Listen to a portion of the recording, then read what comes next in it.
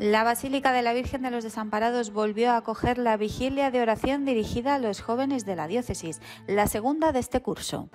Un encuentro organizado por la Delegación de Infancia y Juventud del Arzobispado que estuvo presidido por el obispo auxiliar de Valencia, Monseñor Arturo Ross.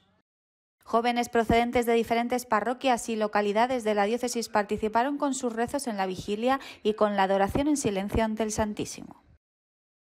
En el encuentro también se informó a los jóvenes sobre las actividades organizadas desde el arzobispado, entre ellas la peregrinación europea de jóvenes a Santiago de Compostela, que tendrá lugar entre los meses de julio y agosto.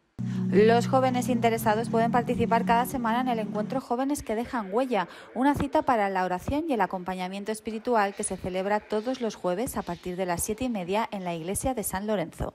Este curso han sido programadas como camino de formación y preparación para la peregrinación a Santiago.